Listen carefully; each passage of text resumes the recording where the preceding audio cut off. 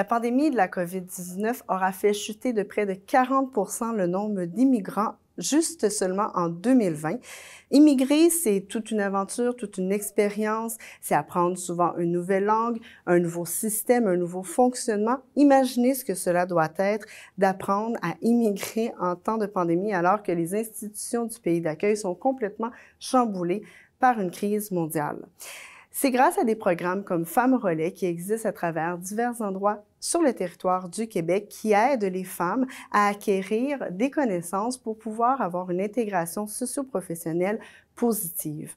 Dans Chaga Maisonneuve, c'est le programme de Femmes Relais 200 portes HM de la table de quartier Hochelaga Maisonneuve qui a mis sur pied depuis 2019 un tout nouveau programme pour aider les femmes du quartier. Pour en discuter, je rejoins l'organisatrice communautaire de Femmes Relais, Madame Delphine Van Den Bosch. Bonjour. Bonjour. Qui est accompagnée d'une des participantes de Femmes Relais euh, de la cohorte 2020-2021, Madame Natalia Marquez Calderon. Bonjour. Euh, bonjour. Alors, dites-moi, euh, Madame Van Den Bosch, en commençant, pourquoi il était important d'implanter Femmes Relais dans Hochelaga Maisonneuve? Oui, alors euh, c'est un projet qui date euh, de 2019, mais sa création a débuté en 2018 et c'était après un constat qui a été fait euh, dans la ville de Montréal qui avait une hausse de la population immigrante et qui s'est allée un petit peu partout dans les arrondissements, dont Hochelaga Maisonneuve. Mm Et Hochelaga Maisonneuve est un quartier à la base culturellement québécois, dont les organismes communautaires sont aussi adaptés pour cette population-là. Donc, on a jugé ça pertinent avec la croissance euh, des nouveaux arrivants dans le quartier, d'adapter les services pour la nouvelle population euh, des nouveaux arrivants, d'où euh, l'intérêt pour le projet Femmes Relais qui s'est implanté aussi ailleurs dans d'autres arrondissements mm-hmm. et qu'on a décidé d'amener ici à Hochelaga. Et justement, en quoi consiste le programme Femmes Relais? Qu'est-ce que ces femmes immigrantes y font? Qu'est-ce qu'elles qu'est-ce qu'elles y apprennent? Oui, c'est un programme de formation, tout d'abord, sur euh, qui s'étale sur sept mois. Une formation qui porte différents sujets, notamment euh, la culture et les systèmes québécois, euh, les droits civils, l'apprentissage de compétences et de connaissances comme sur l'employabilité, par exemple, mm-hmm. la connaissance du quartier et des ressources qui sont offertes. Et ça développe en premier lieu la confiance en soi, l'empowerment, ça crée des liens mais aussi ça développe euh, plein de connaissances et de compétences qu'elles vont pouvoir utiliser pour euh, faciliter leur propre parcours et leur, intégration.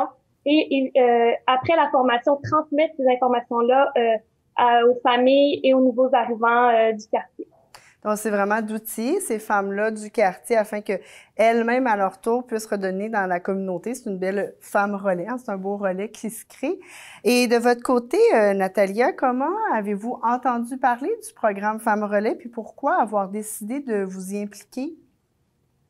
Et oui, euh, c'était par les réseaux sociaux. D'accord. J'habitais ici au, à Hochelaga Maisonneuve depuis janvier de l'année 2020. D'accord. Et j'étais en train de chercher comme un bénévolat où je voulais, j'ai ressenti que je pouvais eh, aider un peu la société où je voulais faire partie. Mm-hmm. Alors, j'ai trouvé sur les réseaux sociaux une invitation comme si vous voulez et eh, commencer des capacitations, des formations sur les systèmes du Canada. D'accord. Et c'est comme ça que j'ai contacté eh, l'organisme. Puis vous, là, en fait, vous venez de la Colombie, si je ne me trompe pas. Pourquoi avoir décidé d'immigrer au Canada? j'ai décidé d'immigrer ici parce que hmm, au moment donné de ma vie en Colombie, après le travail, après des études, euh, je me suis dit, je voudrais un changement. Je voudrais euh, changer mon entourage que, dans un endroit qui soit plus euh, tranquille, où je trouve des qualités de vie. J'avais des qualités de vie en Colombie, mais je voulais comme, je trouve que mon pays c'est très stressant. Donc, ma décision, c'était, je, je voudrais chercher un endroit où je pourrais faire partie d'une société qui est plus pacifique, qui est plus mm. calme. Donc, c'est vraiment la raison pour laquelle j'ai choisi le Canada. Et est-ce qu'il y a une raison particulière pourquoi vous avez choisi Hochelaga Maisonneuve comme euh, lieu pour habiter? Et, non, vraiment, au début, j'étais juste en train de chercher un appartement qui était, que je pouvais payer avec mon, mon, mon revenu et tout ça. Et j'ai trouvé une, une, belle location avec, dans un bel appartement. Et, et non, vraiment, c'était juste les, les, les destins. C'était pas, et c'était pas quelque chose que j'avais planifié, mais c'est la meilleure décision que j'ai pourrais prise. Oui, que vous avez. Parce que j'ai trouvé des personnes merveilleuses ici. C'est ça, ça vous a permis en fait de, de rencontrer des gens dans, dans le quartier, j'imagine. Et euh, bon, arriver dans un nouveau pays, tenter de comprendre, de faire sa place, de se créer un réseau social n'est pas toujours euh, facile. Euh, là, si, si j'ai bien compris, vous êtes ici depuis janvier 2020, c'est bien cela? Non, non, non. Euh, je suis à Hochelaga depuis ah, janvier 2020. Oui. Et je suis au Canada. Je suis arrivée en juin 2019. D'accord. Donc, quand même quelques mois avant le début, le déclenchement de la crise sanitaire au Québec. Euh, comment ça s'est vécu? Comment, euh, comment vivez-vous la, la, pandémie?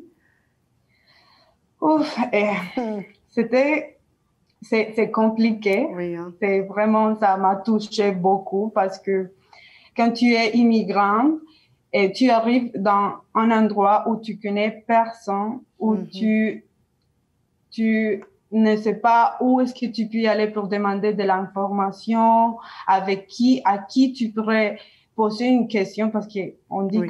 pas dans la rue, pas, quel est l'organisme, comment, de quoi s'agit cet organisme qui, qui est proche de chez moi. Et finalement, euh, c'est être toute seule, comme la solitude, oui, hein. d'arriver dans un pays où tu as personne et tu t'inquiètes pour ta famille qui habite dans notre pays où quelque chose peut arriver. Oui. C'est très stressant et psychologiquement, ça affecte beaucoup la situation. Ça, ça fait que et, et lire les articles sur le, le et sur la pandémie, écouter qu'il y a plus de personnes qui sont malades, ça, ça touche beaucoup. Au moment donné, je me suis dit, qu'est-ce que je dois faire? Est-ce que je devrais rester ici? Est-ce que je devrais partir?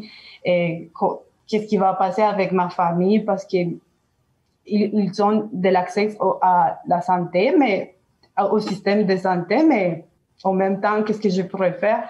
Et si je tombe malade ici, je serai toute seule. Oui. Donc, c'était vraiment inquiétant. Et mais juste au moment que la pandémie a commencé, j'ai trouvé le bénévolat. Voilà. Donc, j'ai trouvé un endroit où je pouvais partager mes, mes, mes, mes, mes questions, oui. toutes mes, angoisses. Et je me suis rendu compte que je n'étais pas toute seule, qu'il y avait aussi des immigrants qui avaient la, les, les, les problèmes de je suis ici, toute seule, j'ai ma famille. Donc, ça m'a aidé beaucoup. Ça vous a aidé à rencontrer? C'est de trouver, de partager avec les autres oui. et de se rendre compte qu'il y a autre personnes qui peuvent te soutenir pendant ces temps difficiles. Parce que psychologiquement, ça m'a affecté beaucoup. Oui, hein, Plus pour la solitude. Oui, ben c'est ça, on comprend bien d'avoir la famille loin, d'être inquiet pour eux, mais d'être inquiet pour soi aussi en étant seul euh, dans un nouveau pays et euh, évidemment la solitude. Heureusement que vous avez trouvé le bénévolat et les femmes euh, les femmes relais pour créer des liens. Euh, et comment justement Delphine, com comment avez-vous adapté le programme Femmes relais à la pandémie? Parce que j'imagine que vous n'êtes pas en mesure de faire toutes les mêmes activités que vous auriez planifiées normalement. Oui, tout à fait. Dans le fond, l'année dernière, c'est une formule un petit peu différente. On est très en contact avec les organismes du quartier et on, on se déplaçait euh, dans leurs locaux pour euh, avoir les ateliers. Là, on a opté pour une formule Donc, on a un partenaire qui nous prête des locaux qui sont très grands, c'est le quartier familial de Schlaga. Donc, euh, le fait d'être un groupe aussi très euh, restreint, donc on est un groupe, euh, cette année, c'est neuf femmes, dont une femme qui reste à la maison avec son bébé de moins d'un an. Donc, on a mhm. on a fait plusieurs choses. Là. De un, le local le fait d'avoir un groupe qui est toujours le même aussi, ça aide à, à pouvoir avoir les activités en présentiel. Et euh, on a offert aussi la formule en tout temps. Donc, euh, les femmes qui étaient pas en mesure de se déplacer pouvaient aussi euh, avoir les ateliers de la maison. Là. Donc, ça a aidé à retenir une plus grande participation des femmes tout au long de la pandémie. Ensuite, on est tombé en virtuel pendant peut-être un mois, presque deux mois. Mais c'était après que la cohésion de groupe ait déjà eu lieu, donc, euh, les femmes se connaissaient déjà, euh, ils étaient à l'aise avec le groupe, la participation aussi, ça se faisait bien en Zoom. on a été super contentes de pouvoir se retrouver en personne parce qu'on sent que les interactions ne sont pas les mêmes. Euh, on offre quand même toujours l'option Zoom si jamais il y a des imprévus, euh, que manque l'autobus, il y a un rendez-vous qui est un petit peu plus tôt dans la journée. Donc, on offre les deux. Ça nous a permis de toujours se rassembler, soit en présentiel ou en virtuel mais on préconise quand même le, le présentiel pour euh, pour euh, justement avoir des contacts humains, des contacts euh, mm-hmm. avec les adultes aussi, parce que pour certaines, certaines femmes, le défi, ça a été d'être mère monoparentale sans mm. service offert en dehors de l'école, par exemple. Donc, on préconise vraiment les relations humaines pour faciliter faciliter l'intégration, puis aussi passer à travers cette pandémie mais particulièrement pour, euh, pour euh, les personnes qui sont plus vulnérables euh, avec la situation plus grave. Et est-ce que vous pouvez nous donner un peu une idée des ateliers que vous offrez au courant de ces quatre mois de formation? À quoi ça ressemble? Oui, en fait, c'est plutôt sept mois de formation. donc, ça ressemble à... En fait, c'est très varié. On a eu des ateliers sur la culture québécoise, le système d'éducation, le système de santé, euh, ensuite, on a eu des ateliers sur les droits, donc euh, les droits testamentaires, les droits des femmes, les droits de la mhm. famille, les droits civiques euh, comme le droit à l'immigration, impôts et taxes. On a eu des ateliers qui abordent aussi, Nathalie, tu pourrais m'aider à compléter. D'histoire du Québec, d'histoire des femmes, de l'écoute active, de ouf, nous avons toutes les ateliers. Nous... aussi, violence conjugale, violence à caractère. Euh, en tout cas, c'est vraiment vaste. Et, tout ça, c'est vraiment dans le but de d'outiller les, les, personnes, qui, les participantes qui en ont besoin pour euh, faciliter leur intégration, connaître les ressources, savoir à qui se référer, à quelle problématique. Euh, et éventuellement pour vraiment les outiller à accompagner des personnes qui peuvent vivre des vulnérabilités plus grandes, parce que chaque parcours migratoire, c'est important de le mentionner, est différent. Qui comporte des problématiques différentes, dépendamment ben, de la raison pourquoi on immigre, premièrement, et aussi euh, de d'où on arrive, de quelle culture on arrive, euh, est-ce que la, la, personne vit un plus grand choc culturel, euh, raison. Donc, c'est de les accompagner selon leurs besoins et leurs problématiques. Et justement, vous le mentionnez là, euh, quand on décide d'émigrer, et Natalia, vous l'avez très bien expliqué, c'est un choix, c'est un choix de vie, de, souvent une question pour améliorer ses conditions de vie. Euh, est-ce qu'il y aurait, euh, Delphine, est-ce qu'il y aurait un, défi d'intégration que vous voyez qui se démarque par rapport euh, au niveau des participantes? Est-ce qu'il y a un enjeu particulier auquel elles doivent faire face? Ben, ça a été mentionné à plusieurs reprises. Je pense que le plus gros défi, c'est c'est la réception peut-être de, de la population face à, à leur apparence, à leur barrière de langue, ou tu sais, la différence, ça fait toujours réagir. Oui, je pourrais dire. Le fait d'arriver, puis d'être nouvelle quelque part, de pas savoir où se référer, comme Natalia l'a dit, ça comporte beaucoup d'obstacles. Et ensuite, euh, ben, il peut y avoir d'autres obstacles quand on rencontre des personnes qui sont mal intentionnées ou qui n'ont pas nécessairement le désir d'aider. Euh, donc, ça peut prendre beaucoup de temps euh, pour une personne qui arrive avec un bagage, avec beaucoup avec des difficultés qu'ils ont vécues dans son pays, dans leur pays, par exemple, et de, de surmonter encore. Elle se dit, ah, oh, en fait, je suis arrivée sur une terre d'accueil, mais parfois, c'est pas nécessairement l'expérience qui est vécue dans les premiers mois. Mm-hmm. Et euh, ça prend du temps euh, de trouver un réseau qui est accueillant, qui est bienveillant, et qui veut le bien de la personne. Donc, c'est pas toujours des mauvaises expériences. Je pense que chaque femme du groupe a des expériences différentes. Et euh, il y en a qui ça a été très positif. C'est sûr que la langue, ça facilite beaucoup. Donc, les femmes qui sont francophones ont eu un petit peu plus euh, de facilité à s'intégrer, si je peux dire comme ça. Mais il y a toujours des défis euh, liés à la différence. donc, il y a quand même un travail à faire au niveau de la société. Et là, le, programme Femmes Relais se termine avec un stage dans un milieu communautaire. Alors, euh, Natalia, est-ce que vous savez déjà où vous allez vous diriger dans les prochaines semaines? Oui, les prochaines semaines, je vais commencer mon stage. Oui. Et c'est dans l'organisme Je passe partout. D'accord. C'est un organisme qui aide les enfants et, et les gens qui ont pour le, le inciter à améliorer son performance à, à l'école. Mm-hmm. Donc l'idée au début c'est d'observer un peu comment fonctionnent les, les, les, les services de, de l'organisme, de connaître comment les, les, les, les intervenants vont, vont parler avec les enfants, qu'est-ce qu'ils vont lui dire, comment ils vont diriger ces, ces, ces formations. Et parce que on trouve souvent des, des familles qui demandent de l'aide des femmes relais pour ils ne savent pas quoi faire avec les enfants, comment les, quand, quand tu es immigrante, les systèmes d'éducation changent. Mhm. C'est un changement radical. Tout à fait. Donc, ça, c'est, j'ai trouvé que c'était une bonne idée pour comprendre quelle est la différence entre les systèmes d'éducation des autres pays et comment ça fonctionne ici au Canada et pour les, les enfants, la prochaine génération. Donc, c'est une belle organisme. Euh, en mars dernier, euh, a été lancé, un peu juste avant en fait le déclenchement de la crise sanitaire, dans Femmes Relais avec le, projet, la campagne Hashtag comme toi. Ça fait un an que cette campagne-là circule. Même si on, si on va dans Hashtag Maisonneuve, on peut euh, voir des affiches dans différentes vitrines. Est-ce que vous pourriez nous rappeler un peu pourquoi cette campagne-là, pourquoi c'est important aussi de la faire? Oui, en fait, la campagne a été créée l'année dernière qui s'appelle Femmes d'ici comme d'ailleurs, on a tous les mêmes droits, hashtag comme toi. Mm-hmm. euh, ça a été créé dans le cadre de la Journée internationale des droits des femmes le 8 mars 2020.